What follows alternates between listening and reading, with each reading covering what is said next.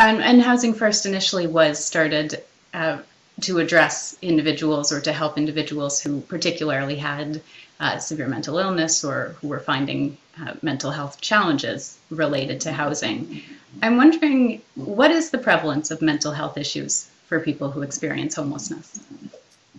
The prevalence of mental health issues in the homeless population um, is difficult to put an estimate to simply because the studies that have been conducted on this widely vary.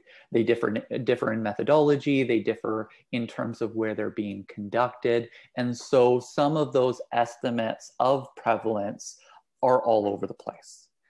Um, what we can say with certainty is that the prevalence of mental health problems in the homeless population is many times higher than that of the general population.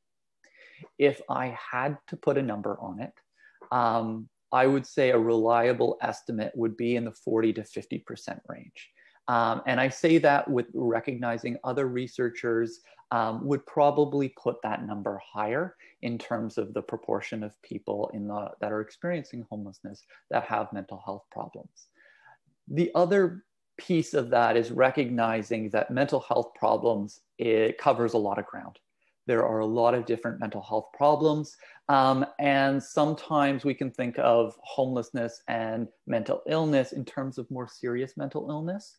Um, and while that's true that people with serious mental illness are overrepresented in the homeless population, um, you can also see more common mental health problems such as depression uh, or anxiety disorders. These are, these are issues that are quite prevalent in the homeless population as well, in addition to things like substance use problems. And that's where you see um, slightly higher rates. So you're looking at about 25 to 35% of people experiencing homelessness might have a substance use problem.